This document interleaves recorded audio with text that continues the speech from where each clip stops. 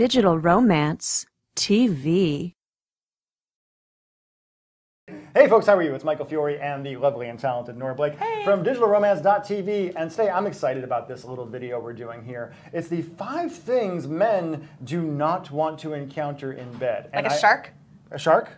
I, yeah, Uh, generally a think- Yeti? A Yeti? Well, I am kind of hairy myself, so that'll okay. um, Nora had nothing to contribute for this video because I said, what don't men want to find in bed? And she She's was like, like, how would I know? how would I know? I'm amazing. I got a magic vagina. Is the way it works. So, Like I've ever encountered a man who was unhappy in my bed. Exactly, God, jeez. Um, so here's the five that I came up with, and I'm sure guys who are watching this, please add more down below, uh, and we'll cause like a really horrible, vicious below. fight in our, our YouTube comments. The first is, of course, the dead fish, which I know you hate the title of.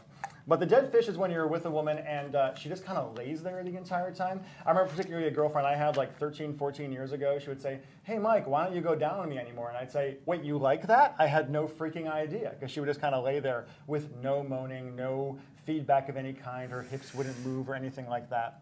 Now, not a fish just taken from the ocean because they flop around and that would be better. No, I actually. understand. It's a dead one. It's a dead Got one. it. Yes. Moving on. Number Uh, two. Number two is what I call the my boyfriend really liked it when I did this, or my ex-boyfriend really liked Oh, it. I right, right, right, right. And this is uh, as a guy who slept with a few women in my life.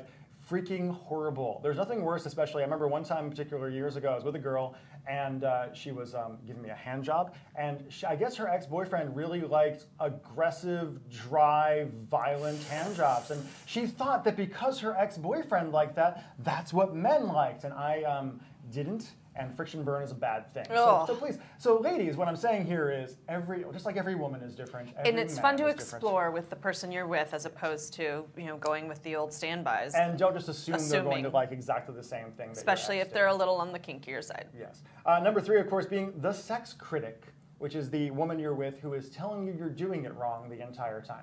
Now, uh, communication in bed is a wonderful thing. Dirty talk is a wonderful thing. Saying what you want is a wonderful thing. But constantly telling a guy, no, not there, no, not there, no, do it this way. Why won't you fuck me the way I want to be fucked? Uh, You're not going to have a hard on to play with for very long. And uh, number four is the guilt monster.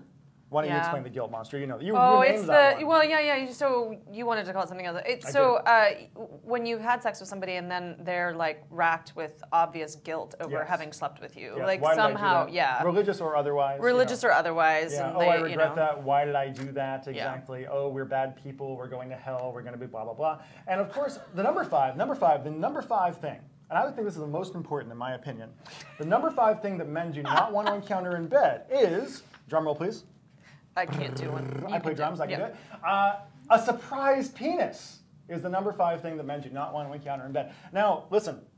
The word surprise is the important part here. Right, because if you're a, a gay man, Yes. you're you're going to expect to find a penis. Or if you're into ladyboys.